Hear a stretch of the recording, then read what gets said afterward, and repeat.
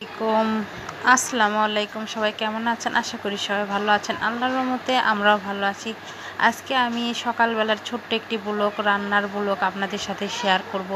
সকালবেলা আমি কি ঝটপট রান্না করে নিলাম সেই রান্নার ছোট্ট একটি ভিডিও আমি আপনাদের সাথে শেয়ার করছি। আশা করি সবাই ভিডিওটি না টেনে পুরো ভিডিওটি দেখবেন এবং আমার চ্যানেলটি সাবস্ক্রাইব করবেন এবং আমার ফেসবুক পেজে ফলো দিয়ে রাখবেন। এখানে আমি চিংড়ি মাছ নিয়ে নিয়েছি। এখানে চিংড়ি মাছ ভুনা ভুনা করব আর এখানে বাটা মাছ দিয়ে পাতলা ঝোল রান্না করব আমি। আগে আমি বাটা মাছটা রান্না করে নেব। বাটা মাছটা আমি আলু, বেগুন, ধনিয়া পাতা দিয়ে রান্না করব। এই তো মাছ এখানে আমি খুব সুন্দর করে ধুয়ে নিয়ে নিয়েছি।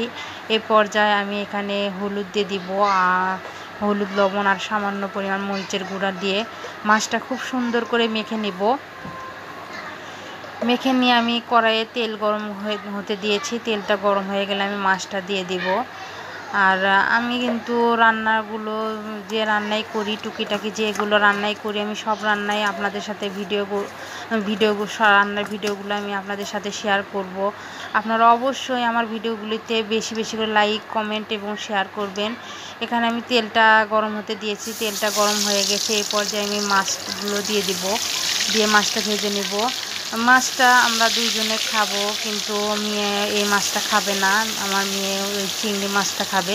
মেয়ের জন্য করে কিন্তু চিংড়ি মাছটা আমি রান্না করে নিচ্ছি। আবার এই পাশে চুলায় আমি দিয়ে দিচ্ছি তেল। আমি মা, চিংড়ি মাছটা রান্না করে নেব। আর এখানে আমি জিরা দিয়ে দিয়েছি। দিয়ে দেওয়ার পরে পেঁয়াজটা দিয়ে দিয়েছি। পেঁয়াজটা বাদামি বাদামি করে ভেজে নেব। আর ও পাশে চুলায় কিন্তু আমি পাটা মাছটা রান্না করে নেব।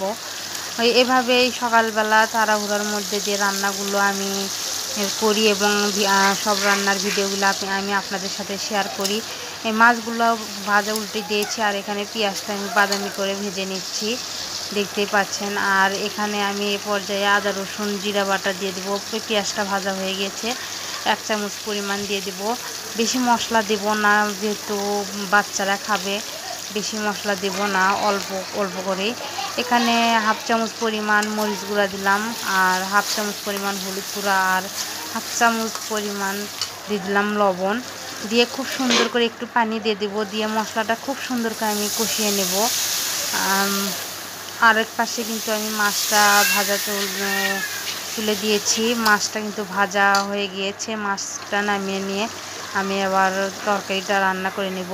এভাবে রান্নাগুলো নতুন রাঁধুনির জন্য তো এগুলো রান্নার টিপসগুলো অবশ্যই কাজে লাগবে।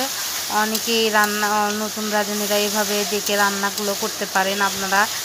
আর অবশ্যই আমাকে কমেন্ট করে আপনারা জানাবেন যে এই ধরনের ভিডিও আপনারা চান কি চান আর আর সামনের দিকে এগিয়ে যাওয়ার জন্য কিন্তু আমাকে আরও সহায়তা করবেন এবং আমার ফেসবুক পেজটি অবশ্যই ফলোতে রাখবেন এবং ইউটিউব চ্যানেলটি সাবস্ক্রাইব করবেন।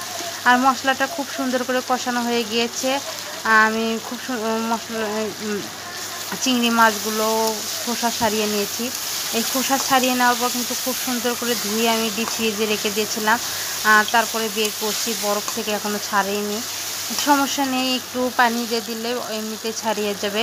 আর এইভাবে করে খুব সুন্দর করে কষিয়ে নেওয়ার পরে এখন একটু পানি দিয়ে দেবো। দিয়ে এই ঝোলটা শুকিয়ে আসলে কিন্তু আমার রান্নাটা কমপ্লিট হয়ে যাবে। একটু দেখতে পাচ্ছেন কী পরিমাণ পানিটা দিয়েছি, এই ঝোলটা কিন্তু আমি শুকিয়ে নেব। গা মাখা গা মাখা করে আমি ভুনাটা করে নেব।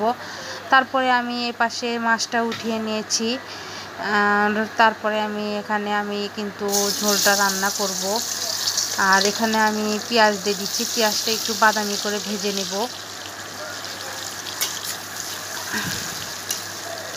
পেঁয়াজটা খুব সুন্দর করে ভেজে নেব। ভেজে নেওয়ার পর কিন্তু এ পর্যায়ে একটু আখর জিরাটা দিয়ে দিব। আখর জিরা আমি দিয়ে দিলাম। দিয়ে দেওয়ার পরে কিন্তু এখন সব মশলাগুলো আমি দিয়ে দিব। আর আদা, রসুন, জিরা বাটা এক চামচ পরিমাণ। তারপরে কাঁচামরিচ বাটা দিয়েছি দুই চামচ, হাফ চামচ লবণ, হাফ হাফ, এক চামচ লবণ, হাফ চামচ হলুদ গুঁড়া এবং মরিচের গুঁড়া দিয়েছি, হাফ চামচ দিয়ে আমি একটু পানি দিয়ে দিয়েছি মশলাটা কষিয়ে নেওয়ার জন্য করে। মশলাটা খুব সুন্দর করে একটু কষায় নেব। মশলাটা কষানো হয়ে গিয়েছে, দেখতেই পাচ্ছেন। এ পর্যায়ে কিন্তু আমি সবজিগুলো দিয়ে দিব। এভাবে কিন্তু ঝটপট রান্নাগুলো কিন্তু খুবই ভালো লাগে। আর এই বাটা মাছের পাতলা ঝোল ঝোলটা কিন্তু আরও মজাদার। আমরা মাছের ভাতে বাঙালি, যেহেতু মাছটা আমাদের খেতেই হয়। আর কি, আমি সব ধরনের মাছ আর কি রেসিপিগুলো আপনাদের সাথে শেয়ার করব। কষিয়ে নেওয়ার পর একটু ঝোল দিয়ে দিয়েছি। আর এই তো দেখতে পাচ্ছেন চিংড়ি মাছের অবস্থা। এখন ঝোলটা শুকিয়ে গিয়েছে। এখন আলু, বেগুনগুলো খুব সুন্দর করে আর একটু কষিয়ে আমি একবারে ঝোল দিয়ে দিব। ঝোলটা ফুটিয়ে উঠলে মাছ দিয়ে দেবো, তাহলে রান্না পুরো কমপ্লিট হয়ে যাবে। দেখতে পাচ্ছেন কি পরিমাণ ঝোলটা দিয়ে দিয়েছি। আমি দুই, দেড় কাপের মতো পানি দিয়ে দিয়েছিলাম। আর এখানে আমি মাছগুলো দিয়ে দিচ্ছি। দিয়ে আবার ঢাকনা দিয়ে ঢেকে তিন মিনিটের মতো রান্না করে নেব। তাহলে আমার পুরো রান্নাটা কমপ্লিট হয়ে যাবে। ঢাকনা দিয়ে আমি এই পর্যায়ে ঢেকে আবার দুই, তিন মিনিটের মতো রান্না করে নেব। তাহলে কিন্তু রান্না আর দেখতে পাচ্ছেন চিংড়ি মাছটা রান্না হয়ে গিয়েছে। কত সুন্দর লাগছে দেখতে। আমার মেয়ের তো খুবই পছন্দের এই রেসিপিটা চিংড়ি মাছ ভুনার। এখানে বাটা মাছের পাতলা ঝোল রান্নাটাও কিন্তু পুরো কমপ্লিট হয়ে গেছে। আর সবাই ভালো থাকবেন, সুস্থ থাকবেন। আল্লাহ হাফেজ।